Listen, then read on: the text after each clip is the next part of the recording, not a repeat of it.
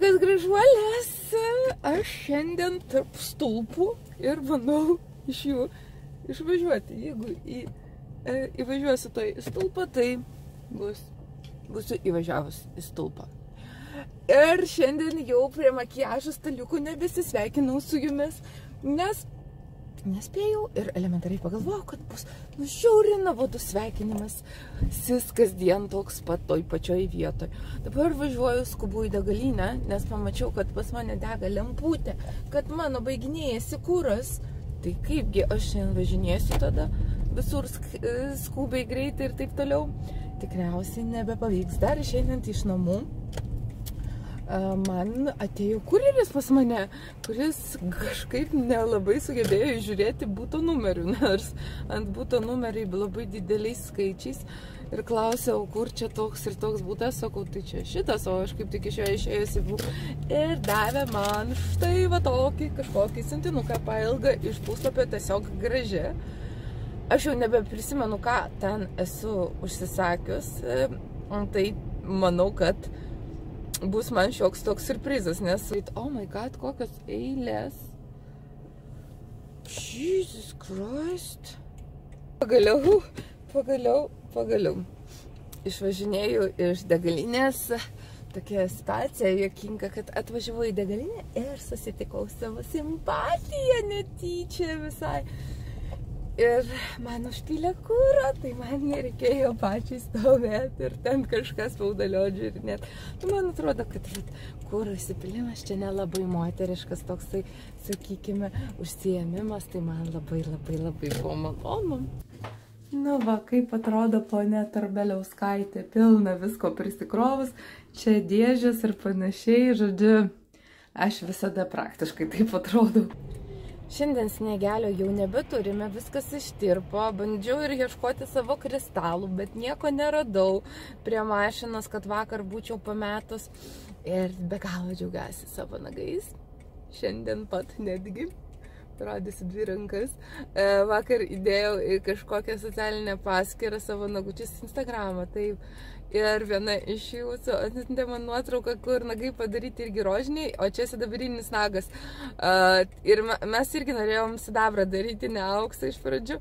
Tai taip labai nustebino, kad, na, toj pačioj, kaip sakyt, valstybėje ar vietoje, ar kažkur kitur, tuo pat metu kitas žmogus gali daryti tą patį, ką jūs darote šiuo metu. Tai yra, nu, tiesiog Šiandien lūpus pas mane rožinės, nes prieš tai fotkinausi su Missy Box. Tai kadangi Missy Box yra rožinės spalvos, tai mano lūpos irgi. Beje, Missy Box galite rasti dabar mano parduotuviai. Tiesiog labai labai noriu palaikyti tą, kaip pasakyti, akciją, nes tą Missy Box sukūrė viena mergaitė, kuri beje dar yra studentė. Ir vat, mane labai džiugina, kad jauni žmonės bando kažką patys sukurti, padaryti ir, ir panašiai, tai man labai tas imponuoja ir dėl to aš įdėjau mm, Missibox į savo internetinę parduotuvę tiesiog prie rekomendacijų. Tokia skiltis pas mane irgi bus, kad prekes nėra mano, bet tiesiog aš jas rekomenduoju kaip geras, kaip man patinkančias ir jūs galite lengvai nuėjusios tiesiog ją ten rasti. Tai va tas Missibox pasikartosiu yra labai fainas dalykiukas jūsų kažkokiai damai, mamai, sesiai, nežinau kam draugiai, nes ten yra rinkinukas įvairiausias kosmetikos, kur tikrai kiekviena savo kažką atras faino, mielo ir tai yra tokia universali dovana. Lygiai taip pat kaip ir mano kosmetinė, beje, paskubėkite jas pirkti, kol yra, kol dar šventės neatėjo, nes po to, kaip susigriepsit, tai gali būti tiesiog per vėlu. Aš šiemet visom savo irgi mylimom damom dovanosiu kosmetinę, nes, nu, tai yra tokia dovana, kur ištisus metus naudoja žmogus, su savim nešiojasi, mano kosmetinė būtent tam ir skirta, kad nešiotis rankinę, jį telpa į bet kokią rankinę, netgi, va, šiandienos mano tokio, va, dydžio rankinuką telpa mano kosmetinė, e, taip, kad tikrai aš jums rekomenduoju, plus jinai yra labai telpi ir nėra visiškai maža ir ten galite susikrauti, ką tik norite. Tai va, tai tikrai ištisus metus apie jūs galvos. Nu ir apie mane automatiškai, nes ten yra mano logotipas. Grįžtam prie gyvenimo.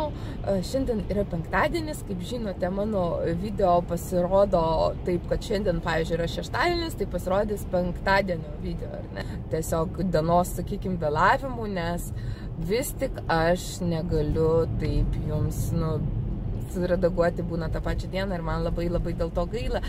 Ir dėl to aš jaučiuosi blogai ir dėl to aš pagalvojau, kad bus fainiau, jeigu aš, jeigu prisižadėjau dėti video, tai dėsiu, bet tiesiog su dienos, sakykime, vėlavimu, kad tai ne, nėra būtent tai, ką nuveikiau šiandien, o tai yra tai, ką nuveikiau vakar. Bet nepaisant to, aš tą dalyką nuveikiau ir tai nėra kažkoks ten sugalvotas ten elementas, scenarius, aš nesu prifilmavus šią savaitę ar panašiai filmuoju tiesiog tai, kas vyksta ir, ir taip toliau. Tai šiandien jūs mato darbinga diena po darbo, aš noriu nuvažiuoti į laidotuvės, bet nežinau, ar spėsiu, tai aš pašarvuojama, nes mama sako, kad nori kitų giminių pasimti į automobilį, tai tada nežinau, ar čia mes telpam visi. Nu, žodžiu, dar vakarė noriu tiesiog nueiti, pavyzdžiui, į prekybcentrį ir su vaiku apsipirkti, kažkokių nekučių fainų, pasibūti tokį laiką kartu. Mes labai mėgstam su Osvaldu apsipirkinėti kartu, uh, rinkti, žiūrėti, kas yra parduotuvėse. Aš tada vaiką aprengiu tokiais drabužiais, žinot, lengvesniais, kad nebūtų ten jam labai karšta, pati irgi taip apsirengiu lengviau. Ir patogia, pavyzdžiui, avalinė ir mes vaikštam po parduotuvę lietai, aš jam leidžiu pažaisti su žaislais visais uh, ir pasižiūrėti viskas, kas vyksta ir panašiai. Ir tiesiog gaunasi tokia kaip ir pramoga pramoga, nes, pavyzdžiui, jis išsižaidžia su kažkuriais žaislais, išsižiūri juos ir jų jau nebenori.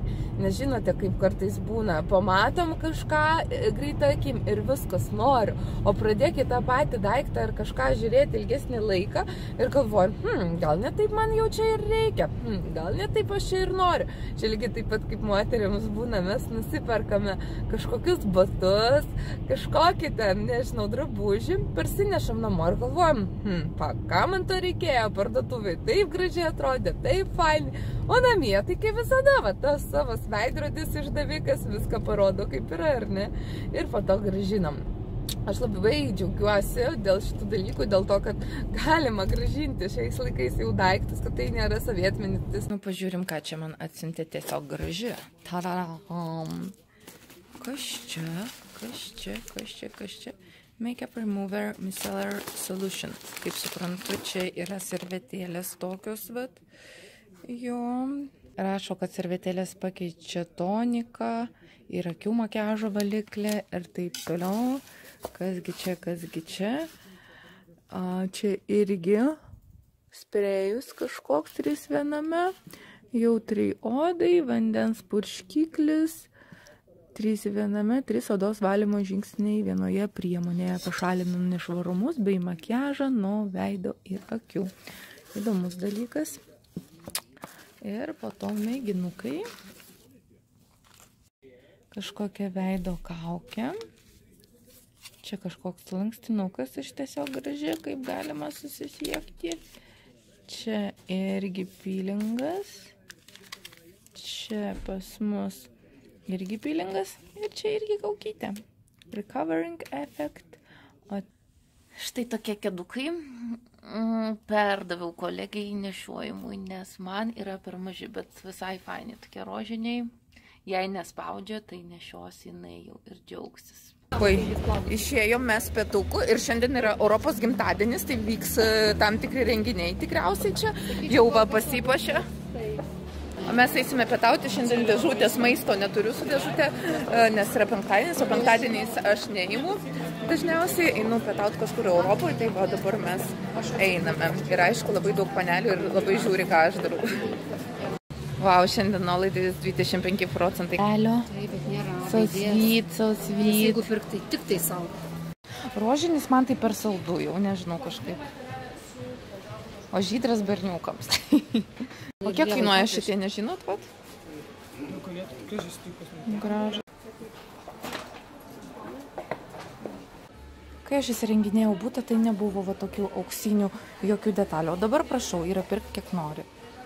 Sientis Tailė daug labai fainų dalykiukų matėm, bet aš kai dar neturiu tokių didesnių namų, tai negaliu dėja nieko pirkti, o labai labai norėtųsi viską jau pradėti derinti per kaliot, bet dar, dar palaukti reikės. Atėjom e, papietauti į fortą, tai va tuoj pažiūrėsim, ką čia valgysim. E, iš tikrųjų, pas mus Europoje tai labai atnaujino fortą, tai toks jis dabar erdvesnis ir vaizdas toks labai gražus pro langą, nes langas nuo pat viršaus iki apačios, tai taip labai jaukiai atrodo ir eglutės ir visa kita, tikrai.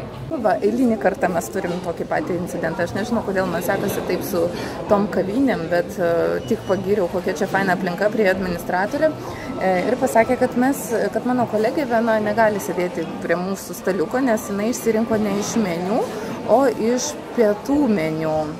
Mm, čia yra atskirai, vat, kas nori pietų, iš pietų meniu, tai renkasi, žodžiu, atsisėda kažkur kitur, tipo arčiau įėjimo ar kažką, o mes sėdam šiek tiek giliau, nes mes renkamės iš meniu. Na ir, žodžiu, mes pasakėm, kad nu, mums nemalonu, kodėl mūsų kolegė turi sėdėti atskirai.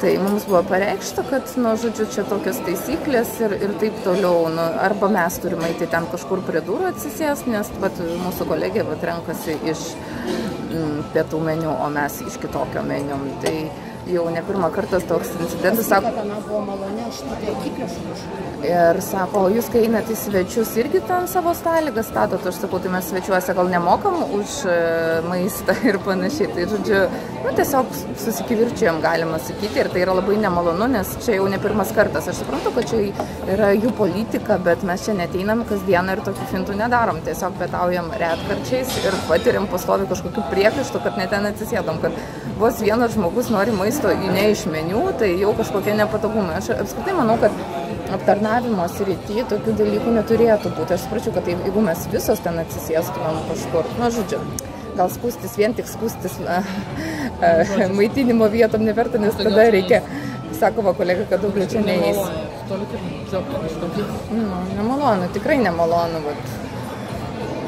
Aišku, čia jau kiekvienas renkasi, kur eiti. Tai žodžiu, panas, jeigu norėsit pavalgyti forte ir ne iš meniu, tai jau neieškokit vietos giliau sėdėkit. Iš meniu, kitas. Jo, jeigu dvi iš meniu valgo viena dienos pietus, tai žinokit, gali tekti sėdėti atskirai. Nu, aš pavyzdžiui, gal ir esu pati akiplėša tokia, bet nu, aš jeigu moku už paslaugą, tai aš noriu tos paslaugos kažkokios kokybiškos, o čia ateini 10 minučių valgyti per pietus ir jau gauni tokį kažkokį incidentą. Nu, čia nesąmonė kažkokia. Visiškai, nu, ne vietoj, ne vietoj. Ir jos toks komentar, komentaras buvo, tas moteris toks pakeltų tokiu tonu ir tokiu aiškinamuoju tonu. Nu, pasakytų, nu, labai atsiprašom, sakytų, nu, va tokia ta tvarka pas mus, nu, jezu, jezu, tokia ta tvarka. Nu, kaip nors taip švelniai išverstų kažką. O ne, čia tokia tvarka, na, na, na, na, na. Nu, ta prasme. Atėjau į draugą, tikiuosi nuolaidų plaukų dažams, bent jau, kad jau Europos gimtadienis. Nu jo, labai didelė nuolaida mano plaukų dažams, net 50 procentų. Tadaram, Preference L'Oreal 1021 aš dažausi, tai jeigu mano spalvytės daug bus, o yra matau, tai aš imsiu daug. Dėjo, kol kas matau tik du ir palikau tuščią lentyną ir pasiėmiau viską. Tai paklausiu dar prie kasos, gal dar turi, tai tada pirksiu daugiau, nes čia tikrai labai didelė nuolaida. Matau labai geros nuolaidos yra dantų siūlams, tai irgi įsigysiu kokį nors, nes ir kokie faini yra kažkokie vat tokie silikoniniai šepetėliai. Aš nusipirkau tokį dantų siūlą, nebandytas, 100 metrų net, euro 79 su nuolaida, tai visai fainiai, pabandysiu. Draugė sako, kad jeigu vyresnė pardavėja arba kas nors iš aptarnavimo, tai jau problema. Bet kodėl vyresnė? Nes jos yra labai keistos. Jo, jos nenori tikrinti nieko, jos taip pat ne ir viskas. Nes aš norėjau plaukų dažų daugiau, paklausiau, ar yra daugiau. Sako, ne, nėra. Aš sakau, savindėlį gal turit? Ne, nėra. Kita jaunesnė sako, aš einu patikrinsiu. Ir atnešė dar tris įpakavimus. Nu tai... Vausintinuką. Na, na, na, na.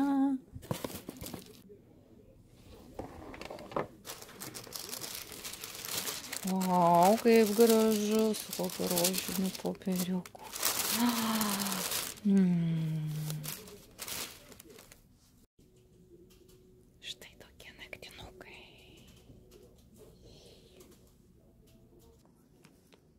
Bet Amerikoje apsimokestina kriptovaliutą iš karto, kai tik ją išranda. O Lietuvoje negali vien tiek kriptovaliutų išleisti ir apsimokesnis tik tada, kai parduosi. Reiškia, kokia nors gražuolė įsigijo bitkoiną ir rytoj jį parduos, tai jau apsimokesins pagal pajamų mokestį. 15 procentėlių metų gale. Nelė šiandien nesibaigė, pabuvom laidojimo namuose su Osvaldu, dabar lietus. važiuosim. Ir lietus lyja, taip. Ir važiuosim, kur mes Osvaldai važiuosim? Į parduotuvę dabar jau važiuosim po tokios, vat, vietelės. Fainai? Na gerai, važiuojam. Į piragą. Kaip piragas čia turbūt suplakti reikia viską ir kepti. Nu jo. Nu jo, tokia dydžia. Osvaldai.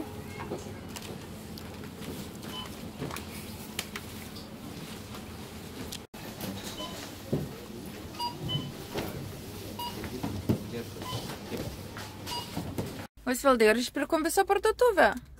Ar, ne visą? Ne visą. Man atrodo, kad visą. Ten saldainį turi? O tokį? Čia kalėdinis kažkoks? Ką? Taip. Skanus, taip pats išsirinkai? Taip. Mm. Ką nusipirkai? Gėrimą. Gyra kažkokia?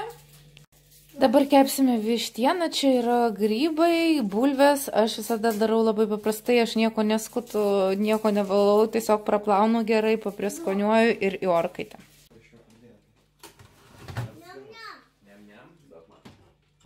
Ir kągi mes turim, devintoji dienelė. Plešiam, plešiam, plešiam.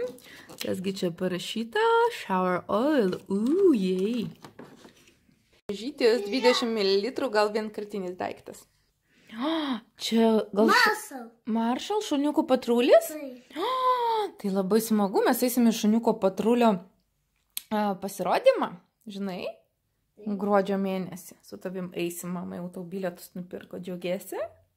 Taip, ir aš šitą paimsiu. Gerai. Kol vištieną kepa, aš paredaguosiu jums video, kad turėčiau šiandien ką įkelti. Saldumynas, koks ir koks čia saldumynas. U, koks įdomus, parodysim žiūrovam. Mm, čia buvo ten, kur buvo tas pakabukas. Taip. Labai įdomus saldumynas. Prie jogurto radom tokį kiaušinį kažkokį ir ten buvo tas pakabukas ir būtent tas vat jogurtukas, kur dabar rodžiau. Tai va, tai kol aš redaguosiu video, viš, iškeps vištytę, grįž mano teveliai iš laidotuvių ir tikiuosi, kad skaniai visi vakarieniausime. Pinasi liežuvis į dienos pabaigą nerealiai. Sėdžiu aš šiandien darbę ir ateina sekretorė, sako, gražina pas jūs e, gerbėjas atėjo. Galvoju, koks per gerbėjas, o gerbėjas padavė va šitą va dalyką. Ir aš dar nieko neišpakavau iki galo, bet štai čia yra toks gražus paveiksliukas ir parašyta, kad gražių švenčių muziukui ir mūzai. Tai Osvaldai kažką mes čia kartu gavome šitam maišiukė. Tuoj mes išpakuosim. Kas čia yra gero? Kas čia gero? Nu, parodyk mums. Uuu, kaip gražu. Čia parašyta apie iššūkius, tai žinoma, e, kasmet sugalvojam iššūkių. Wow, wow, wow, vos nesudužo. Kažkokie menginukai dar. Veido šveitiklis ir dar kažką atplėšė Osvaldas. Parodyk, kas ten daug paskaityti mum. Nematom. Ir čia naktinis kremas. Prašom mum atidaryti stiklainiuką. Mes norim pažiūrėti, kas vidui. Čia ne šiaip saudovanytė taip greitai neapžiūrėsi, kol netidarysi. Nu, pažiūrim. Mm. Kasgi čia yra? Uh, Osvaldai, kas čia? Man! O iš kur tu žinai, kad tau kas ten yra? Putas. Putas, tu jau žinai, kad čia oga, oga putas, nedėk prašau ant kėdutės išbėgs dar. Nedėk ant kėdutės. O kasgi čia? Maitinamasis rankų kremas su sviesmedžiu ir levandų aliejus. Žiūrėk, koks baltas. O kokios baltas? Nu, ar kvepia? Puosti. Čia nesiska, čia kankoraižis. Kas ten dar yra? Trauk. Tatam. Kas ten? Vėl kankoraižis? Kas dar? Oi, oi, oi, oi, tai mums... Tatam. Tatam, nu duok mums prašau pažiūrėti, kas čia yra. Eik, tu savo koks didelis parašyta. Naturalus, gigantiškas lūpų balzamas, tinkantis ir kūnui. O, nu pažiūrėsim, kokio dydžio. Lūpom tep, toks didelis balzamas. Didžiulis. Kur tu eini? Tau padažysim. Aš čia slupdažiu, bet gal nieko tokio. Mm, nu jo. Vienu mostu visą burnytę. O tau? Padažyk savo. Visą burnašką. Bet koks smagus, koks fainas, toks visas kalėdinis. Geras dalykas. Žodžiu, mums patiko davanėlė, taip? Pasakysi ačiū, oga, oga. Ačiū, Oga, Oga. Kaip fainai, super. Nu tikrai, ačiū už tokią smagią dovanėlę. Algiam, suredagavau video, esu laimingiausia, pačiausia ir taip toliau, bet jau laikas baigti šią dieną. Ačiū, kad buvote su manimi. Šią gaidelę ir baigsiu šį video ir iki sekančių vlogmų.